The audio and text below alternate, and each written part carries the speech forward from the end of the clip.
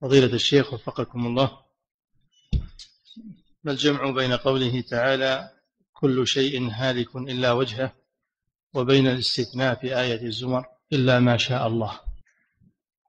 كل شيء هالك إلا وجهه سبحانه. الله كما قال جل وعلا كل من عليها فان ويبقى وجه ربك ذو الجلال والإكرام.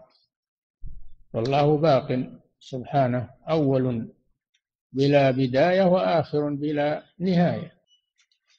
وأما السؤال إيش؟ وبين قوله سبحانه في آية الزمر إلا ما شاء الله. نعم. إلا ما شاء الله. قيل إن المراد بهم الحور العين وقيل المراد بهم الملائكة. الله أعلم. نعم. فضيلة الشيخ هذا شاء الله بقاءهم. شاء الله. شاء الله بقاءهم بقوا. نعم.